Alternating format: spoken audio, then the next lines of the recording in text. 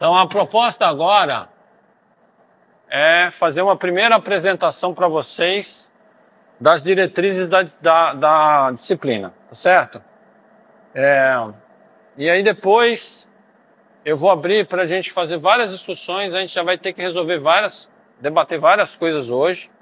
É muito importante vocês entenderem o seguinte, essa é uma disciplina que a gente vai construir ela junto, certo? Tem várias coisas que a gente vai ter que decidir aqui na equipe. Tá? Eu vou mostrar os problemas que a gente vai ter que resolver tem várias decisões que a gente vai ter que tomar. Vocês são pioneiros, porque esse projeto ele é novo na universidade e se vocês se empenharem no projeto, se nós nos empenharmos, inclusive a gente, eu acho que pode ter um, um resultado muito legal no final, porque eu pretendo, se os resultados forem bons no final ali, ter uma espécie de evento para mostrar os aplicativos, né? A ideia é realmente é, é, criar essa, essa, essa conexão com a comunidade, levar vocês para trabalhar com a comunidade. Então, é uma, uma das questões importantes vocês prestarem atenção. Então, o título é Ciência de Dados Cidadão, Cidadã, né? O que, que a gente vai fazer? A, a proposta é fazer aplicativos, certo? Então, eu fiz, quem entrou na página viu que eu fiz uma chamada pública na universidade, foi enviado para todos os, os cursos, né? E tinha um formulário onde as pessoas se inscrevem, certo? E uh, a gente vai estabelecer alguns critérios de seleção. Eu acho que não vai dar para a gente atender todos. Tem aplicativo que não dá realmente para fazer, porque quando você olha a complexidade, você vê que o professor né? Não dá para fazer. Tem aplicativo que talvez a gente queira fazer, mas vai ter que dizer para a pessoa, olha, a gente só vai fazer esse pedaço, e não vai dar para fazer tudo. E tem aplicativo que dá. Mas é, a ideia é, a gente vai simplificar o processo ao máximo para conseguir fechar tudo num semestre. O que é fechar tudo? É fazer o desenvolvimento, o deploy e, se possível, o teste do aplicativo dentro de um semestre. Então vocês estão entendendo que tem que ser um negócio bem simples, certo? Não vai dar tempo de a gente ficar inventando muita coisa para fechar num semestre, certo? É... Uma diferença dessa disciplina para disciplinas de projetos, e isso é muito importante vocês entenderem, é que aqui a gente tem um cliente real, certo? Que vão ser os professores e a comunidade então é muito importante que a gente se empenhe para realmente terminar o negócio. a gente até pode, no, no, no, transcorrer do processo, fazer alguns cortes, algumas simplificações, porque conclui que não vai dar tempo, etc. Mas a gente tem que terminar, tem que entregar alguma coisa, certo? Esse é o sentido de uma disciplina de extensão, tá? É... Então, quando eu fiz a chamada, eu estabeleci dois critérios para os aplicativos, tá certo? O primeiro critério é que tem que prestar qualquer tipo de serviço para a comunidade, seja de informação, orientação, o que for. Por que tem que fazer isso? Porque a gente não vai fazer aplicativos que sejam só de pesquisa. Porque se a gente fizer só de pesquisa, a gente não está explorando a dimensão de extensão. A ideia de extensão é que a universidade ela vai prestar ou ela vai levar alguma coisa para a comunidade, certo? Fora da universidade. É claro que, ah, mas se eu fizer uma coisa para pesquisa, indiretamente eu estou ajudando a comunidade. É verdade. Mas pesquisa é pesquisa, extensão é extensão. E a gente precisa ter isso bem claro, tá certo? De qualquer maneira, é, o ponto de partida foi eu pedi para professores que tem algum tipo de projeto de pesquisa, que queira fazer um aplicativo com algum benefício para a comunidade, que submeta. E por que, que eu fiz isso? Uma das questões é que eu gostaria de fazer essa interação entre os serviços que você presta para a comunidade e ao mesmo tempo você coleta dados disso aí para de alguma maneira é, devolver isso para a comunidade ou melhorar o serviço para a comunidade. Então a ideia é tentar construir esse ciclo. A outra questão também é que eu queria limitar, eu não podia abrir para qualquer um, porque sei lá quantos projetos iam aparecer e o que, que a gente ia fazer, certo? Então essa, esse é o perfil dos aplicativos esperados, tá? Bom, então eu já falei que isso é uma disciplina de extensão e por ser uma disciplina de extensão tem algumas características. Uma das características é que a maior parte do tempo a gente vai fazer como numa disciplina de projetos. Para quem não é de computação, a ideia é que a gente vai trabalhar no desenvolvimento. Então a gente vai usar esse horário aqui, a maior parte do tempo para trabalhar, certo? Eu estarei aqui, a Milena, para todas as, todas as sextas a gente vai estar aqui de duas às seis para orientar, para guiar, etc, etc. Eu preciso ficar de duas às seis? Vai depender muito. A gente vai ter que discutir entre a gente. O mais importante é assim: vocês têm que sair da postura de aluno, né? Ah, eu tenho que assistir a aula, não sei o quê, e tem que pensar que agora isso aqui é um projeto de extensão. Então, eu, eu tenho fortemente pedido para que vocês estejam aqui, porque é a única maneira que eu tenho de acompanhar, né? Porque se vocês olharem lá quando vocês se matricularam na disciplina, no sistema do DAC não aparece horário, tá certo? Porque alguém teve a ideia de que, ah, como é disciplina de extensão não precisa ter horário. Só que o problema que eu falei é o seguinte, se não tem horário, como é que eu vou encontrar com as pessoas para ir orientando? Eu vou, tipo assim, cada um no seu horário? Não dá certo, tá certo? Então, eu pedi para que o coordenador informasse, olha, eu estou contando que existe um certo horário em que vocês estão participando. Agora, a gente pode ter uma certa flexibilidade a depender, não é? O mais importante é, essa é uma disciplina de 12 créditos. Então, espera-se que vocês se empenhem na disciplina para que a gente consiga cumprir a nossa meta, tá certo? Não é aquela coisa de dizer assim, ah, não, beleza, vai ser tranquilo, não.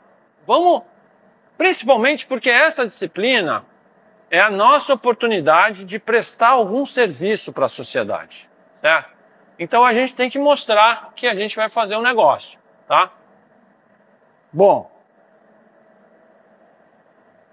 quais são as características que eu gostaria de encontrar nesses aplicativos? A gente vai discutir essas várias coisas aqui. Eu vou lançar as primeiras parâmetros que tem na minha cabeça e a gente pode discutir, tá certo? Primeiro, eu queria usar o mesmo framework para todos eles. Ou seja, é, não vai dar tempo de cada um fazer do seu jeito, de cada um não sei o quê, não vai dar. Vai ficar um negócio muito melequeira, certo? Então a ideia é todo mundo seguir, mesmo se vão ser aplicativos separados, todo mundo seguir as mesmas decisões. Até porque depois, quando vocês terminarem isso, isso vai ficar hospedado aqui. Vai ter que dar manutenção, vai, então, assim, se cada um faz uma linguagem, se cada um faz de um jeito, se cada, ah, depois da manutenção disso vai ser um inferno na Terra, certo? Então a gente vai ter que padronizar o processo, tá certo? Eu vou mostrar daqui a pouco como é que é a minha ideia de padronizar isso. A ideia então é que a gente vai fazer mais de um aplicativo, porque eu acho que a gente tem gente suficiente para fazer mais de um. Oi? Pode fazer, pode é interativo, pode fazer. Ah.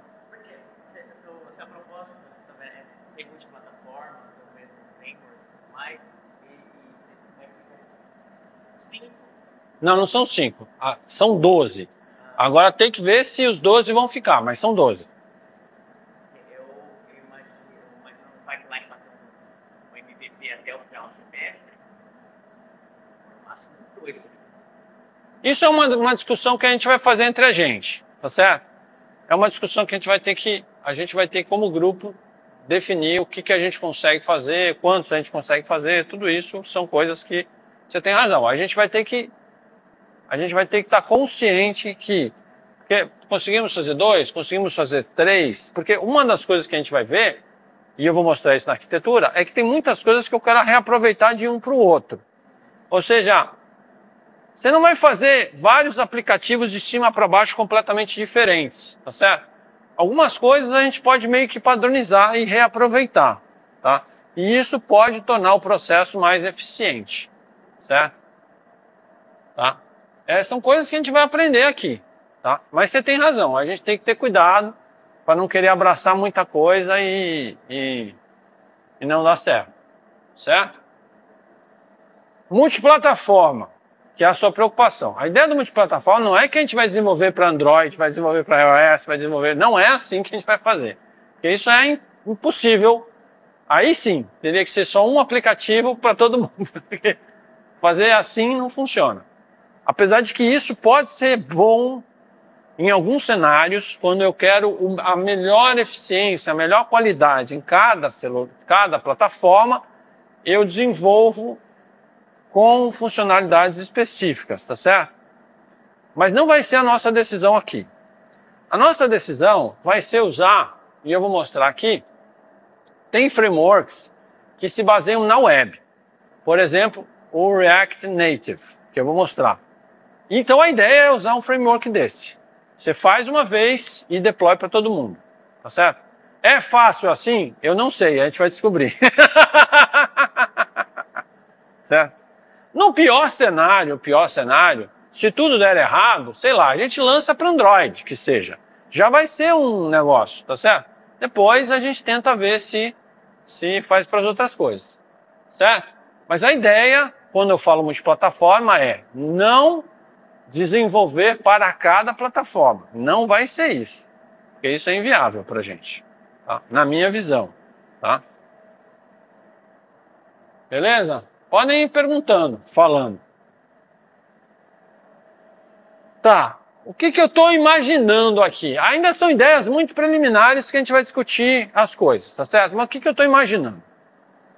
Bom, eu estou imaginando que a gente vai ter um server-side comum. Na verdade, eu vou tentar é, limitar o tipo de serviço que a gente vai prover nesses aplicativos para que a gente consiga praticamente padronizar o que o server vai fazer de uma forma muito simples. Ah, eu vou coletar dado e guardar, eu vou fazer registro e login, eu vou fazer não sei o que, umas três coisas. E aí o servidor faz isso. E aí, por exemplo, ah, eu quero coletar dados sobre X, sobre Y, sobre Z. O que, que vai mudar? O formato. Beleza.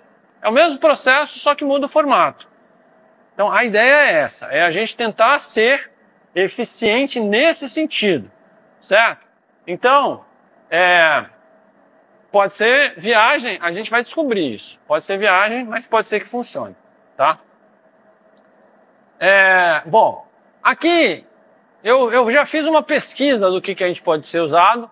Tem o que eu gostaria, que eu estou chamando de ideal, e tem o que eu vi que vai funcionar, provavelmente. Então, o ideal para mim seria usar Python no, no servidor, tá certo? Mas, eu vou explicar daqui a pouco, provavelmente a gente vai usar alguma tecnologia que dá mais produtividade. Porque ficar fazendo cada pedacinho separado talvez seja muito, muito trabalho braçal e isso vai atrapalhar a gente. Lembrando, como essa é uma disciplina de extensão, vocês podem usar absolutamente tudo que aumente a produtividade. Ah, pode usar Copilot? Claro. Pode usar Chat GPT? Pode. Pode usar qualquer coisa que aumente a produtividade. Não tem restrição, porque vocês não estão sendo avaliados por, ah, eu sei programar, ah, essa. Não. A meta é chegar no final. Só isso, certo? Então, eu vou, é, depois eu vou explicar essa história do full stack. Tem frameworks que fazem o processo todo, de cima para baixo. Isso é mais fácil. Porque senão você tem que ficar fazendo o servidor, fazendo o cliente, fazendo conversar. Pode ser que seja mais trabalho.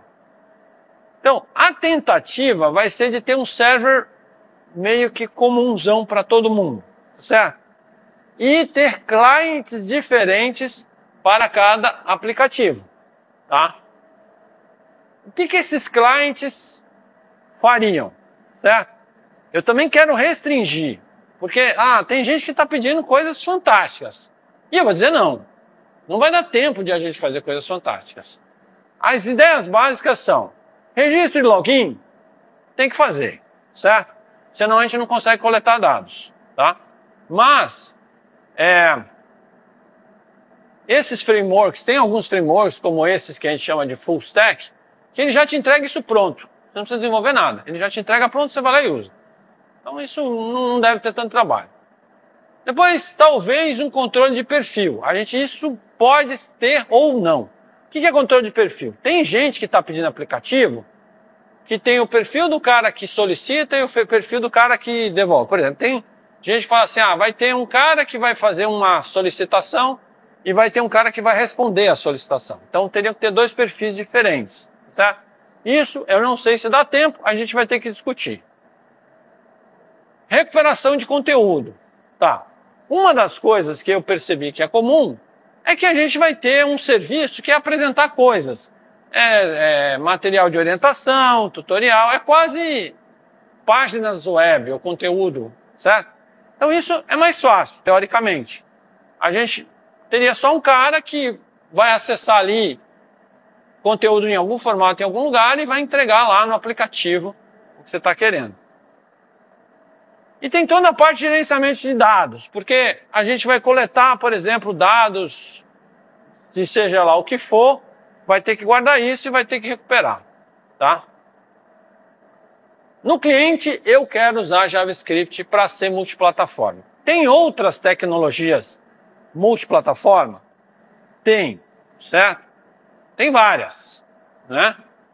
O problema é que essas tecnologias multiplataforma, geralmente elas têm uma linguagem delas lá que compila para a plataforma, certo? Que compila para JavaScript e tal. E eu queria evitar esse tipo de coisa, porque aí você acaba sendo muito dependente daquela linguagem. Quando você, se você usar JavaScript multiplataforma, é, ele, ele vai funcionar JavaScript em todas as plataformas, porque inclusive Android, inclusive iOS, eles têm suporte para aplicativo web, né? Então, é, eles ficariam assim, eu não preciso compilar e a gente não precisa aprender outra linguagem, apesar de que pode ser que tenha gente aqui que nunca viu JavaScript na vida, né? É, é... Boa sorte, tá? não, mas a ideia seria essa, tá certo? Aqui vão ter alguns serviços que eu vou mostrar para vocês, mas eu vou tentar simplificar ao máximo esse serviço. E gente, eu não sei se a gente vai precisar de um armazenamento client-side. A gente vai ter que ver isso, vai ter que discutir o quanto isso complica a, a aplicação, certo? O que, que seria um armazenamento client-side? É a possibilidade do aplicativo rodar offline, guardar coisas e depois sincronizar. Se isso for muito difícil, não tem. A gente vai fazer que nem aplicativo de banco. Se não tiver online, não entra.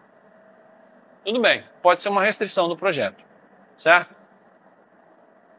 Beleza aqui? Estão acompanhando? Eu estou lançando tudo, depois a gente vai abrir para um grande debate aqui e a gente vai ter que discutir algumas coisas, certo? Bom, então eu estou imaginando que a gente vai ter. Eu tentei construir quatro, mais ou menos quatro coisas que a gente vai fazer para o pessoal certo? Primeiro, registro e login, certo? Segundo, vai ter para alguns conteúdo estático. Então eu, eu, eu, eu, vou mostrar depois, vocês vão ter acesso às solicitações, já estão aí, vocês vão ter acesso à planilha. Aí tem gente que diz assim, ah, a gente queria criar uns guias de orientação, de medicamento, de não sei o que, de não sei o que, não sei o que. Isso eu estou entendendo que é conteúdo estático, certo? Você vai lá apresentar para o cara alguma coisa, alguma orientação, alguma coisa. Então não tem nenhum segredo provavelmente vai ser como se fosse, entre aspas, uma página. Que você vai pegar aquilo ali do jeito que está e vai entregar para o cara na hora que ele clicar ali. Certo? Bom. Vai ter uma parte que a pessoa vai inserir informações. Então, tem gente que, por exemplo, eu vou mostrar alguns casos que já for, foram feitos solicitação.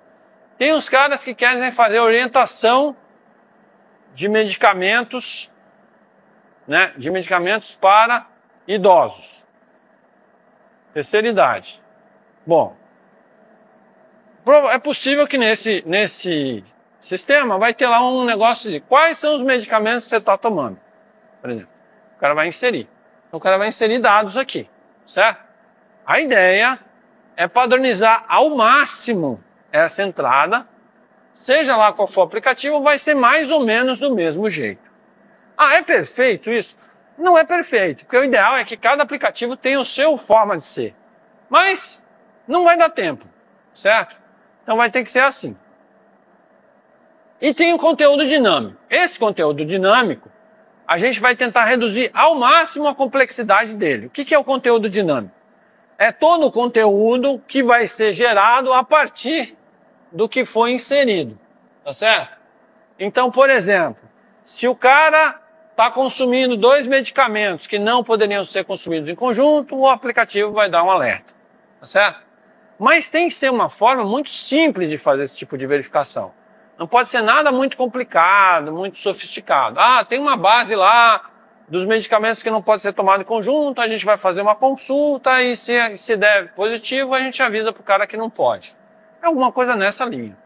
Então, tem algumas pessoas que me procuraram que falaram assim: ah, eu tenho aqui um aluno que está fazendo a pesquisa, que não sei o quê. Eu falei: olha, nada que a gente vai desenvolver pode depender de algum aluno entregar alguma coisa, certo? Porque senão minha, o grupo aqui vai ficar parado porque fulano tinha que entregar um negócio que não entregou, que não terminou. Então, todos os aplicativos que forem selecionados, eles têm que estar especificados no começo. Eu quero isso, eu quero isso, eu quero isso. E aí a gente vai no aplicativo. Não vai ter nada que, ah, eu até vou aceitar se alguém quiser que o aluno dele ou a aluna interaja com a gente para olhar o que está, como é que está, é isso mesmo, não é, tirar dúvida, isso sim. A gente pode interagir com grupos de pesquisa. Mas a gente não pode depender de nada que alguém precise entregar para a gente, para a gente seguir adiante, certo? Então esses processos a gente vai discutir. Bom, isso é o básico. Ah, mas, sei lá, a minha equipe olhou lá o aplicativo e queria inovar, queria fazer um negócio diferente, um negócio não sei o quê. Pode? Pode.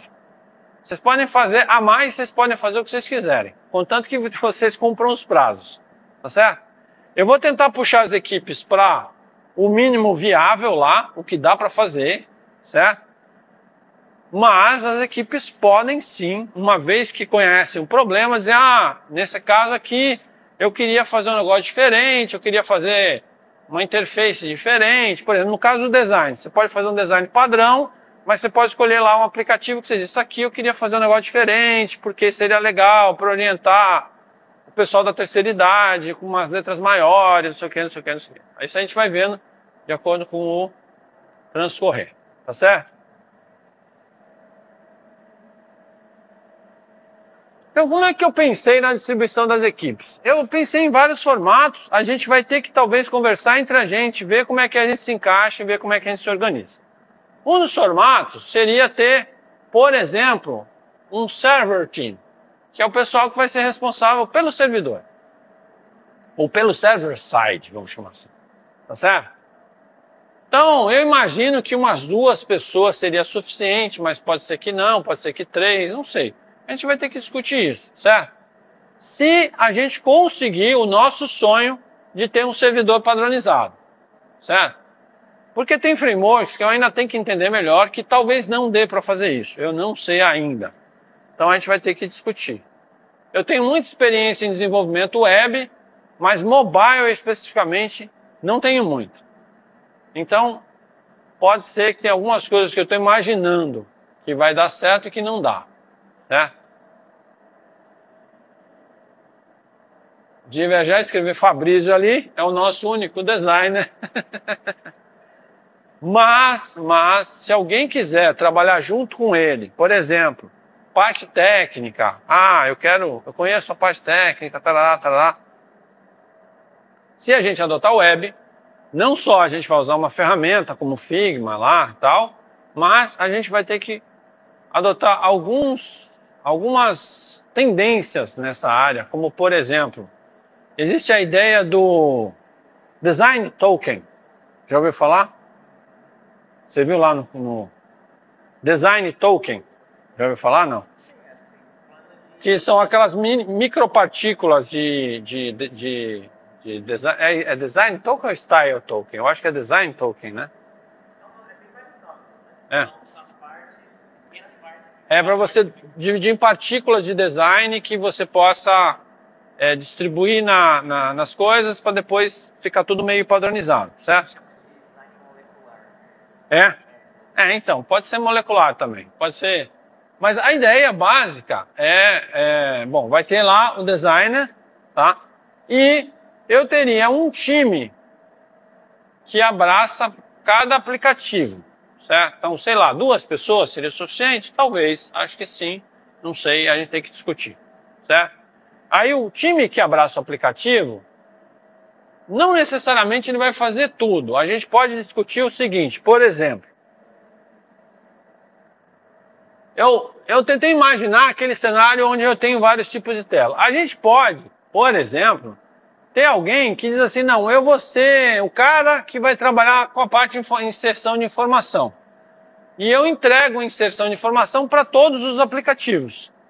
Por quê? Porque o cara pode padronizar a forma de inserir informação e só muda os campos, por exemplo.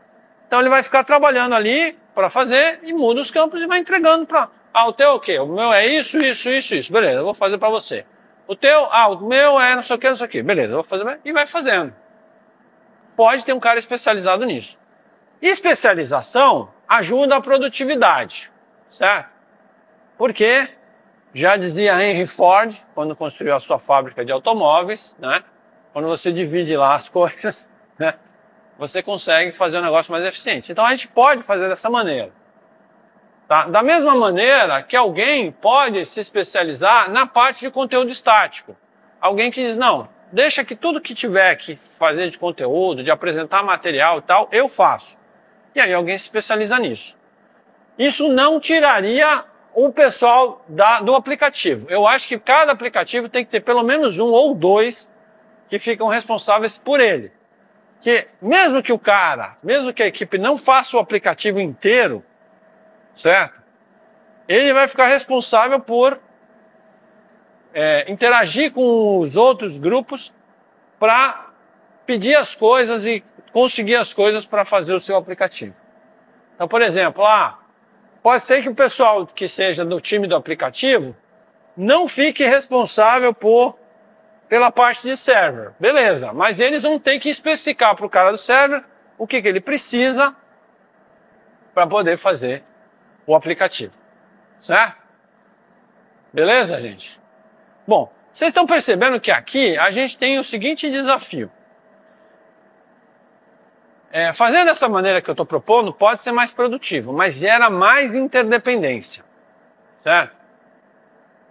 Se alguém ficar responsável por uma tarefa horizontal, ele pode ferrar com todo mundo se ele desaparece, se ele não faz o que tem que fazer. Ele vai ferrar com todo mundo. Ah, o cara que é responsável pelo server sumiu. Vai ferrar meio mundo de gente, certo? Então a gente tem que fazer as escolhas e se organizar com responsabilidade, tá certo? Pelo que eu aprendo na disciplina de projetos, este é uma oportunidade de vocês exercitarem autonomia, de vocês aprenderem a propor coisas, liderar grupos, organizar. Então, é, quando eu dou a disciplina de projeto, eu vejo que tem grupos que se organizam muito bem, que fazem as coisas muito bem e vão aprendendo a fazer esse negócio. Esse é o exercício da disciplina. É aprender a se organizar para poder fazer esses aplicativos. Tá? Beleza? Bom, Agora eu vou falar um pouco das candidaturas, porque hoje uma das coisas que eu vou querer que vocês me ajudem é a gente fazer essa investigação de possibilidades e discutir entre a gente essas possibilidades, tá certo? Então eu vou explicar sobre as candidaturas, tá?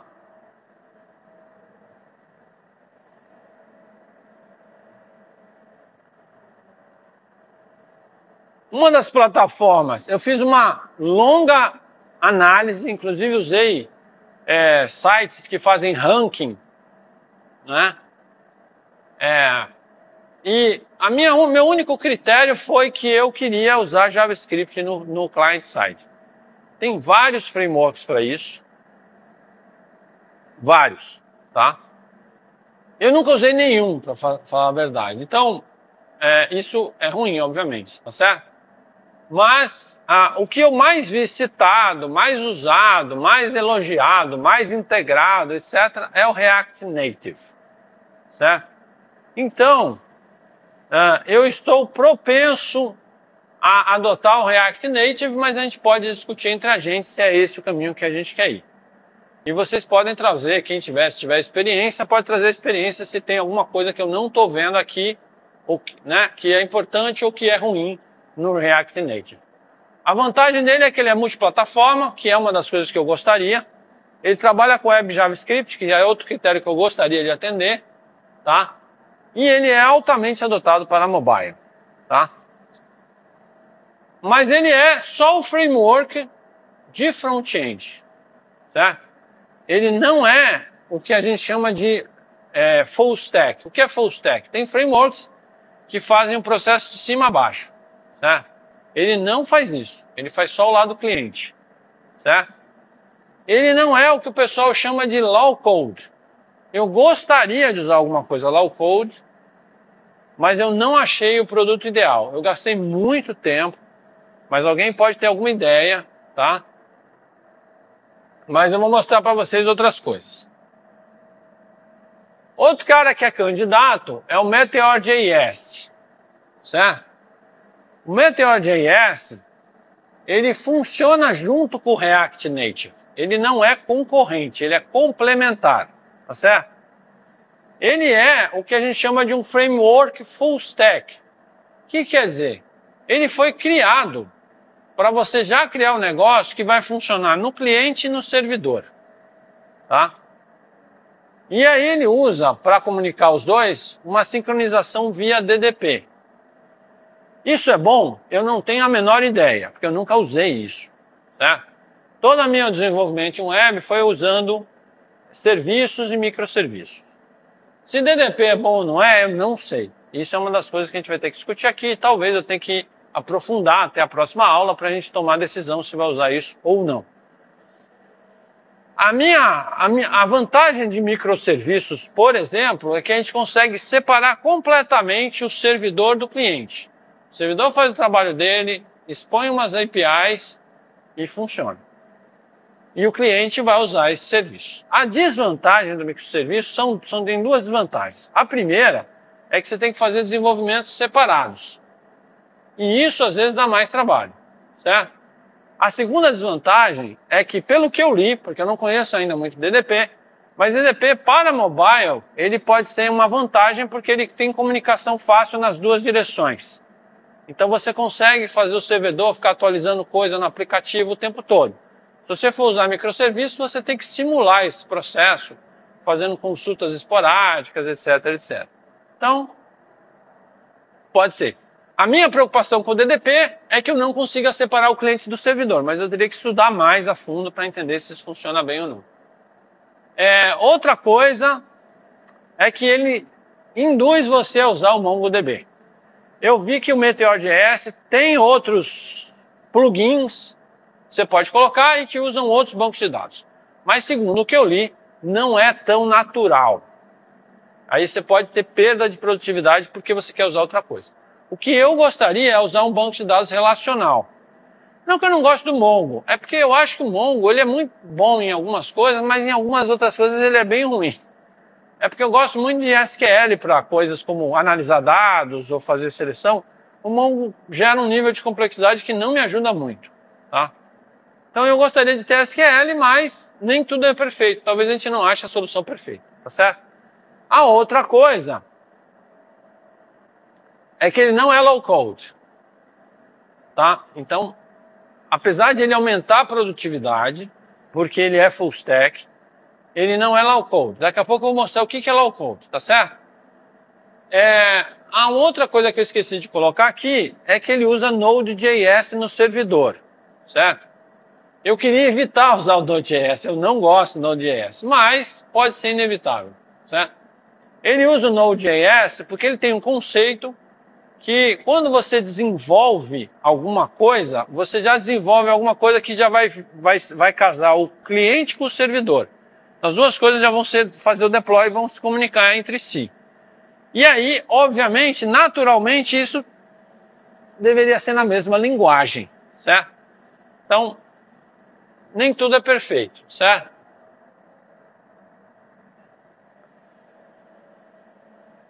Tem um carinha que foi, foi sugerido, inclusive a gente tem um servidor dele instalado aqui no, no, no IC. Eu gostei bastante dele. É esse AppSmith. E eu estava muito tentado a adotar ele. Tá? Por quê? Porque ele é full stack. Não escrevi ali, mas ele é low code. Ele é um negócio que você faz drag and drop, que você escolhe os campos, então você consegue rapidinho montar o um negócio. E aí eu queria talvez usar um negócio desse, porque como eu falei para vocês, o nosso foco aqui não é saber se vocês sabem usar o framework A ou o framework B, é fazer um negócio rápido e entregar para a comunidade. É só isso que me interessa. O problema desse cara é que ele não tem suporte para mobile. Aí quebrou minhas pernas, certo? Ele tem todos os requisitos que eu queria, todos.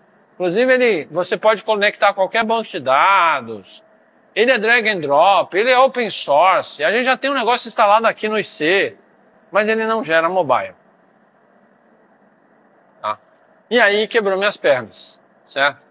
Porque não adianta. Tá? Um dos requisitos é que seja mobile. Tá? Então eu dei para vocês um panorama para vocês entenderem o que é que eu estou buscando. Eventualmente, com a experiência de vocês, com o debate, a gente pode tentar chegar em alguma outra solução. Tá certo? Beleza?